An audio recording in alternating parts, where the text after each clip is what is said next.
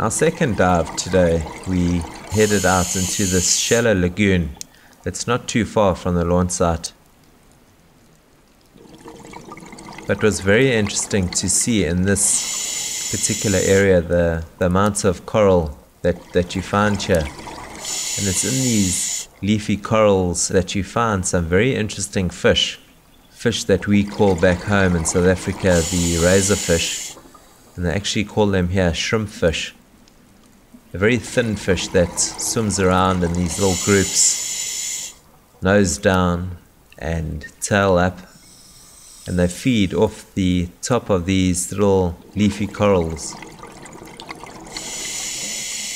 This particular lagoon dropped off to about 8 or 10 meters and level off at about 12 meters on the bottom.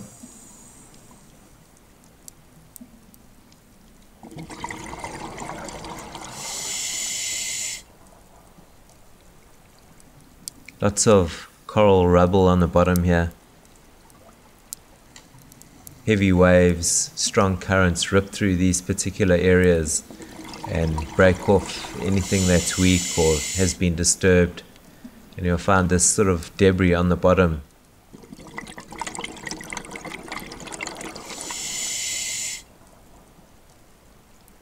But even though a lot of it is damaged and Looks like a lot of it has been burnt by the sun and the warm water.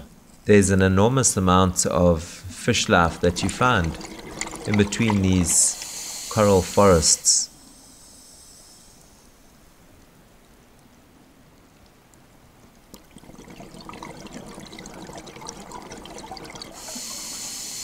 And one of the most striking fish that I found today were these little pajama cardinals.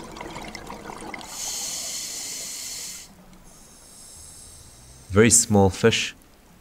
It's about two centimeters long and quite a wide fish, but with some very striking fin structures.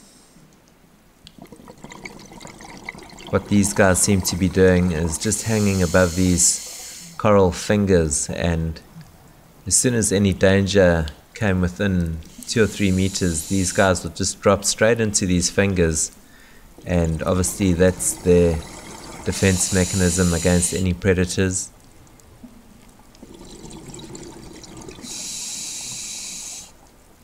Then probably the most camouflaged little fish that I found today were these little signal gobies, blending in exceptionally well with their surroundings, and they have two very distinct eyes on their dorsal fins.